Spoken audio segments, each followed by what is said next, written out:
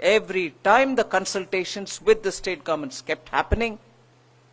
And in this phase, the opportunity that the Indian economy gives, even though there were challenges, not to lose heart but carry on with the reforms which are so required in the economy.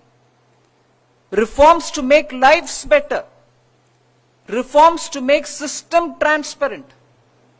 Reforms to make businesses do it easily rather than go 10,000 places and give their forms and say, please give me the permit, please give me the license, give me this. And where possible to make it as deemed as given if it exceeds a certain time. You wait for 15 days, 30 days, as is the case in each of them.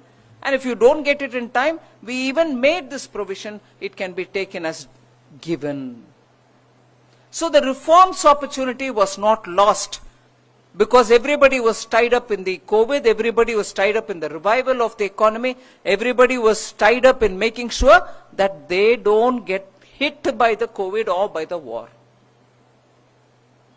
And again in this, even when the fertilizer prices, I told you how it, the fertilizer things have become stressed because of the war. And when the prices hit seven, eight times more than what we give in India in the market, we still imported them at that seven, eight times higher price, but never passed that burden on the farmers. The farmers were paying the same amount, the same amount as before, but imported fertilizers are very, very high. Uh, the number, the total quantity that we import is very high. And every import without restriction was made and given to the farmers without they having to bear the burden of increasing cost. So, Indian economy is fast growing. Our entrepreneurs showed their courage, their enterprise. They were able to pull through the crisis. All credit to our 1.4 billion population. Really. The government may support, the government may come forward. We have a very visionary Prime Minister who monitors, as I said, vaccine onwards to the price of imported commodities and get the fuel from where you should. And where you should means where you can afford to bring it from. Initially, everybody was asking, are you importing from Russia? Are you getting it from Russia? Because it's giving in concession. For me, the question is, we need to get it at an affordable price. My search will be constantly on to see where I can get it at affordable price for the Indians. And we explained our position. Not that we are answerable as a sovereign country to anybody else except our people. We are answerable to our people. So we made sure that India will get the quantities of fuel required at the affordable price. So I am just giving all this only to say India today is being observed by the global community for the way in which it steered the way, steered its own way through the pandemic, through the war and war-related price spillovers. Inflation in India is, if I can say in a very generic sweeping fashion, inflation in India is today largely imported because of the price of fuel, price of fertilizer. So you're bringing it all in. Your own cost for inflation could be supply side. Tomatoes are not adequately available in the market or the production of a particular crop is damaged because of flood or unseasonal rains. That inflation India always is aware of. Every government will fight that. We are doing that as well.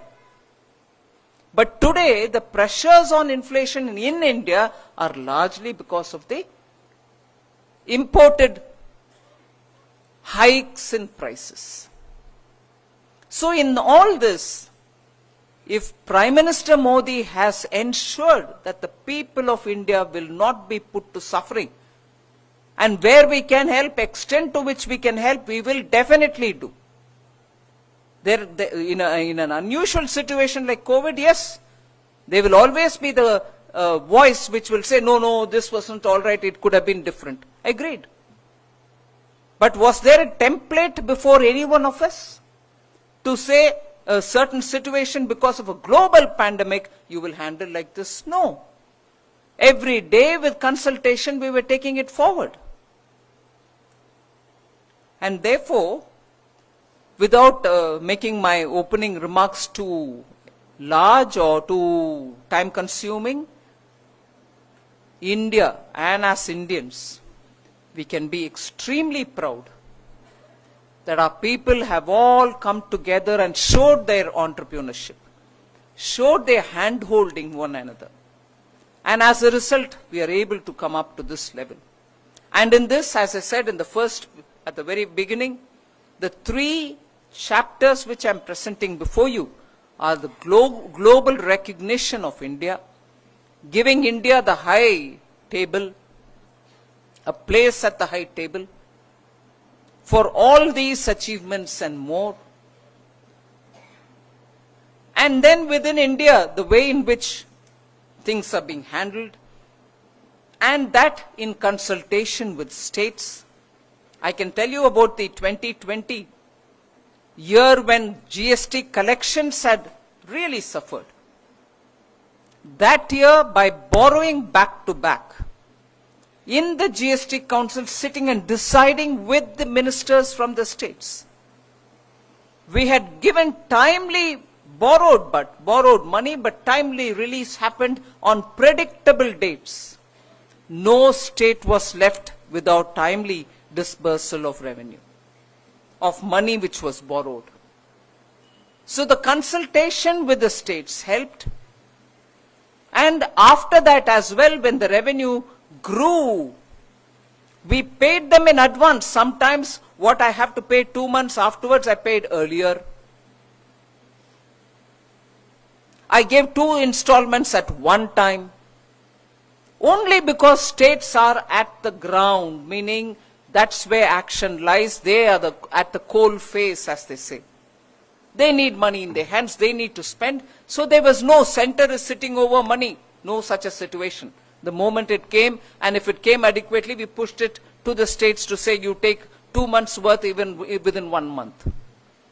So the consultation with the states and recognizing the federal nature of our country has been 100% followed by Prime Minister Modi. He's been a chief minister himself, so he knows what it is to recognize the role of states and give them their due in time. So my second and the third chapter also has enough features which I can elaborate but for now, for my opening statement, I want to submit that Karnataka and its people are very educated. They are in every walk of life. They quietly contribute to the nation building. There's no hullabaloo about it. The state has its gentle people. I recognize that.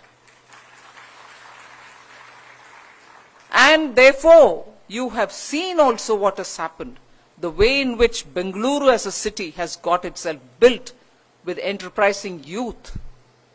Today, the policy of the state government is also helping to expand that to other parts of the state, Mangaluru for startups and other places also. The corridor goes to Tumkuru, not just from Chennai to Bengaluru, it goes further there. North Karnataka has received, Kalyana Karnataka has received the due attention of the central government and every project there has been given due priority. Today is a very important day for Karnataka. We all very respectfully remember the role several centuries ago played by uh, Guru Basavanna.